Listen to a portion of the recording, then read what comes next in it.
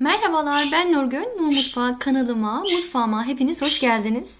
Bugün sizlere uzunca bir video hazırladım arkadaşlar. Baştan sona kadar izlemenizi tavsiye ederim. Ee, çok farklı iki değişik e, domates sosu hazırladım kahvaltılık. Almanya'da güneşe hasretiz. Sürekli yağmurlu havamız var. Eğer güneş çıktığında da e, kendimizi hemen dışarı atıyoruz, değerlendiriyoruz. E, havamız sürekli yağmurlu olduğundan dolayı da meyve ve sebze kurutamıyorum. Ben de bu şekilde bir e, meyve sebze kurutma makinesi aldım ve domatesleri kurutarak denemek istedim. E, bunları da sizlerle paylaşmak istedim arkadaşlar. Sizler tabii ki Türkiye'de, Türkiye'mizin güzel sıcağında e, domateslerinizi kurutabilirsiniz. Güneş olmayan nemli yerlerde bu şekilde bu makineyi kullanabilirsiniz arkadaşlar. Şimdi e, bu makinede nasıl kuruttum sizlere anlatacağım. Öncelikle domateslerimi yıkadım ve e, dörde böldüm. Kullandığım domatesler hem yumurta burta domatesiydi arkadaşlar hem de normal e, domatesti. İki farklı domates kullandım. İkisi de çok güzel oldu. Ve e, güneşte kurumadığı için de domateslerin rengi kıpkırmızı kaldı. Çok güzel e, renklerini korudu. Evet, 5 e, kat makinenin 5 kat e, tabakası var, tepsisi var arkadaşlar ve tepsiler delikli gördüğünüz gibi. E, bu şekilde birinci katına domates dilimlerimi yerleştirdim. Şimdi ikinci katına da aynı şekilde kestiğim domates dilimlerini yerleştireceğim. Yaklaşık 3-5 kilo arası domatesi bir yapışta kurutabiliyoruz.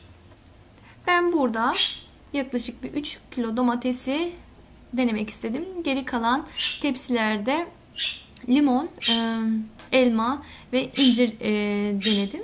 Hepsini birlikte kuruttum. Evet kat kat bu şekilde tepsilerimi doldurdum ve makinama dizdim. Burada limon da denemek istedim.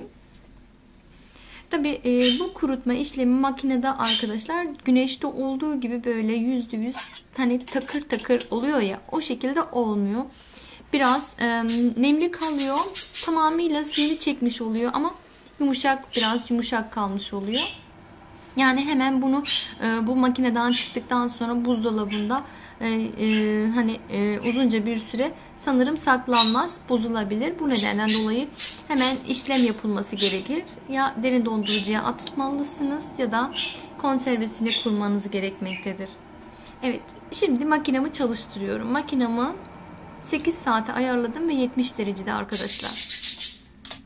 Ee, tekrardan e, bir e, kontrol ettikten sonra makinamı tekrar e, çalıştırdım. Yaklaşık 10-12 saat sonra e, bu sonuca ulaştım. Gördüğünüz gibi. Akşam çalıştırdım. Sabahleyin hiçbir işlem yapmadan kendisi bu şekilde e, sebzelerimi güzelce kuruttu. Bu işlemi arkadaşlar fırında da yapabilirsiniz ama fırında sürekli kontrol etmek gerekiyor. Evet gördüğünüz gibi ince olan dilimler harika kurudular. Biraz kalın olanlar hala yumuşak ama suyu yok. Kesinlikle suyunu çekti ve kurudular. Gördüğünüz gibi. Evet. Bu şekilde ben domateslerimi kuruttum. Böyle bir makineniz yoksa hiç sorun değil arkadaşlar. Dediğim gibi fırında da kurutabilirsiniz. Fırını 70 dereceye açın. E, domates dilimlerini tepsilere dizin. E, kat kat koyduktan sonra fırını yaklaşık e, bir 8-10 saat çalıştırmanız gerekir. Sürekli kontrol etmelisiniz ve kapağını hafif açık bırakmalısınız ki içerisindeki hava çıksın ve e, iç sebzeler pişmesin, e, kurusun diye. E, biraz zahmetli ama dediğim gibi en güzeli aslında e, güneş. Güneşte kurutabilirsiniz arkadaşlar. Güneşte kurutun. Eğer bizim gibi imkanınız yoksa bu şekilde alternatifler de vardır. Ben kullanıp göstermek istedim. Evet. Şimdi kuruttuğum domateslerden nefis iki farklı sos yapacağım. Kahvaltılık sos arkadaşlar. Kahvaltılık sosum için yaklaşık 4 diş sarımsak kullandım. E, taze biberiye ve kekik kullandım. Tuz, kırmızı toz biber, ceviz ve zeytinyağı. İki farklı kuracağım için arkadaşlar birini yağlı e, turşu gibi yaptım. Onun içerisinde de sirke kullanacağım. İlk etapta ön hazırlığını yapıyorum, gösteriyorum size. Daha sonrasında kurum şekillerini ayrı ayrı göstereceğim. Evet sarımsağı, biberiyeyi, keki, taze e, olan baharatlarımı güzelce ince ince bu şekilde kıydım. Kekiği de e, saplarından bu şekilde ters çevirerek yapraklarını çıkarttım.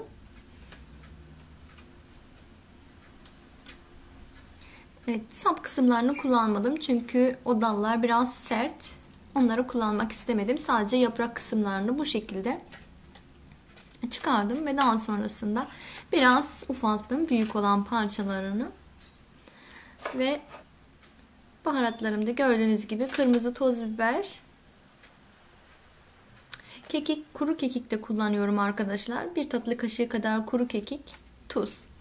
Şimdi kavanozumun içerisine hiçbir işlem yapmadan çünkü domateslerim e, çok kuru değiller. Bunun için ön haşlama hiçbir şey yapmıyorum. Hemen kavanozumun dibine e, domates dilimlerinden koyuyorum. Kıymış olduğum sarımsak ve baharatlardan ekliyorum. Biraz e, daha kuru kekik ekliyorum. Kırmızı toz biber ve tuz ile tatlandırıyorum. Tuz serpmediğim için kuruturken tuzu da burada kontrollü bir şekilde ilave edelim arkadaşlar.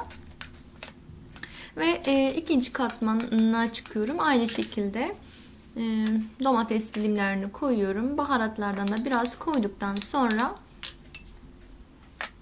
ceviz koyuyorum arkadaşlar. Cevizi de bu etapta koymak istedim. Daha sonra serviste de kullanabilirsiniz bol bol. Ben ceviz de kullanıp lezzetini, vitaminini bıraksın istedim. Çünkü e, bir, bir hafta kadar bunu beklettim arkadaşlar. Evet. Üstü basada zeytinyağı. Dolduralım. Ve hiçbir işlem yapmadık. Gördüğünüz gibi.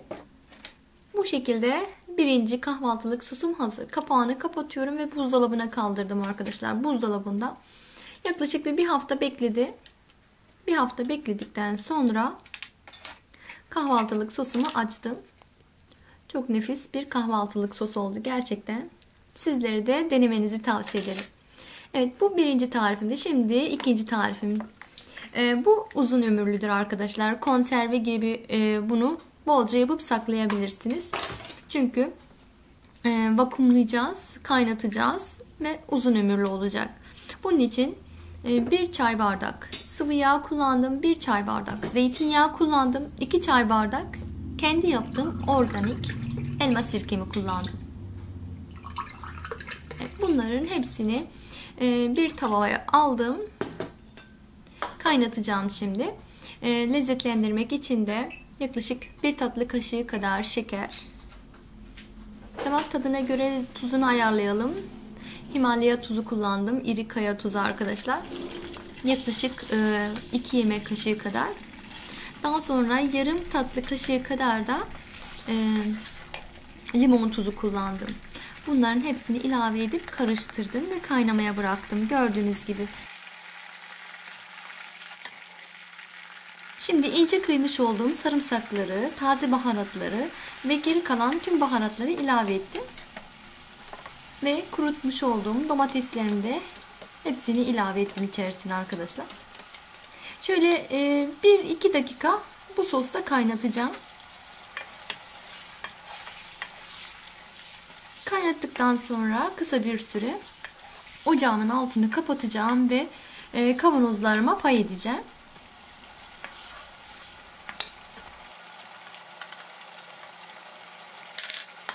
Tadımını da kontrol edelim. Tuzu, her şeyi lezzetli yerindeyse artık kavanozlamaya geçebiliriz arkadaşlar. Evet. Bu elde etmiş olduğum malzemelerden iki kavanoz konservelik domates sosu hazırladım. Kahvaltılık domates sosu. Evet bu hazırlamış olduğum kahvaltılık domates sosu arkadaşlar uzun ömürlüdür. Bu şekilde konservesini yapıyoruz. Ee, karanlık ve serin yerde aylarca saklayabilirsiniz. Hiçbir sorun yok. Hiç bozulmaz. Problem olmaz yani. Dilerseniz biraz daha baharat takviyesi yapabilirsiniz. Kekik çok yakışıyor. Ve sosumuzu da kavanozlara pay edelim. Kavanozlarımızın kapağını da hemen kapatalım vakumlansın. Ve bu şekilde soğuduktan sonra arkadaşlar serin ve karanlık erzak dolabınıza saklayabilirsiniz. Buzdolabına kaldırmanıza gerek yok bu konserveliklerimizi. Evet. E, makinede kuruttuğum arkadaşlar incir, elma ve limonları sizlere göstermek istedim. Limonları ben bu şekilde şekerledim. E, şekerleyince e, çayın yanında bu şekilde meyvelerin yanında e, yiyebilirsiniz. Ben çok seviyorum. Güzel oluyor. E, denemenizi tavsiye ederim. Evet. E, pastalarda da süs olarak da kullanabilirsiniz.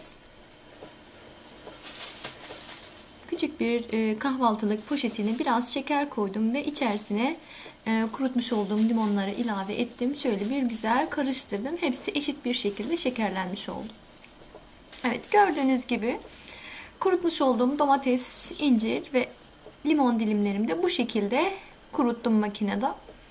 Evet bir alternatifti. E, biraz uzun sürüyor ama yani değiyor arkadaşlar sonunda. Uğraşmak istemezseniz gerçekten pratik bir makina. Evet. Şimdiden yapacak olanlara afiyet olsun ve şifa olsun diliyorum. Ee, şimdi videomun sonuna doğru kavanozlarımı açacağım ve sizlere göstereceğim arkadaşlar nasıl oldu diye.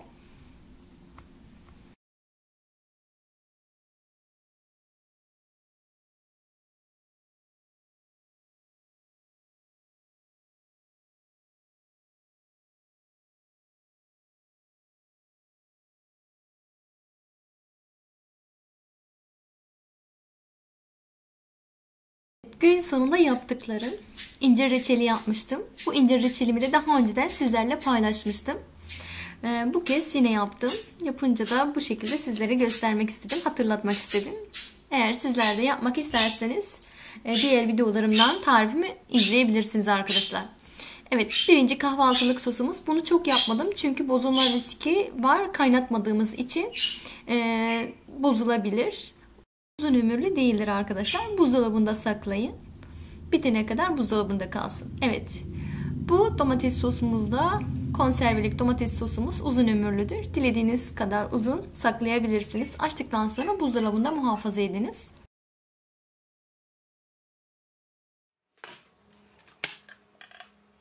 Evet şimdi domates sosumuzu açtık arkadaşlar kahvaltılık domates sosumuzu, bu sosumuzu e, normal yapmıştık. Gördüğünüz gibi e, baharatlar, zeytinyağı e, hepsi içine girdi. Çok lezzetli bir kahvaltılık domates sosu oldu. Kesinlikle tavsiye ederim. Eğer sizlerin domatesiniz çok kuruysa arkadaşlar ön işlemi biraz e, sıcak suda beklet tip daha sonra bu işlemi yapmanızı tavsiye ederim. Evet. Birazcık daha ceviz serpiştirdim. Tekrardan kekik ve rosmarin, taze rosmarin, biberiye yapraklarıyla tabağımı hazırlamış oldum.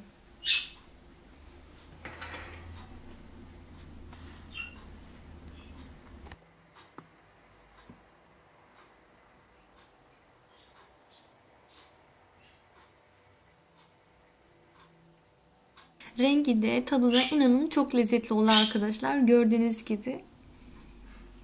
Şimdi ikinci olan konservelik domates sosumuzu da açacağım. Bunu da sizler için açıyorum. Evet.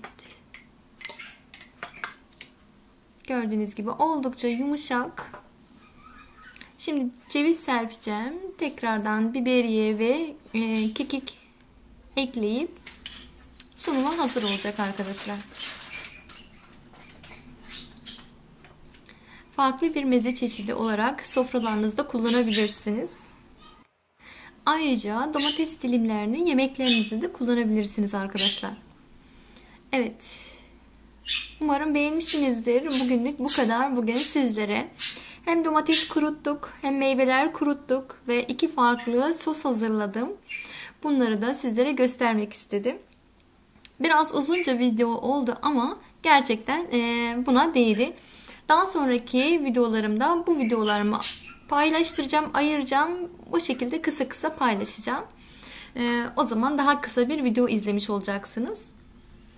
Bir yayınımızın daha sonuna geldik. İzlediğiniz için teşekkür ediyorum. Beğen ve yorumlarınızı lütfen kanalımda eksik etmeyin. Kanalımda farklı e, kışlık hazırlıklar, turşu tarifleri, sirke tarifleri, e, farklı menüler, değişik soslar bulabilirsiniz arkadaşlar. Kanalıma mutlaka abone olmayı ve zil sesini açmayı unutmayalım. Evet, farklı tariflerde tekrardan görüşmek dileğiyle kendinize çok iyi bakın. Sevgiyle kalın, hoşçakalın.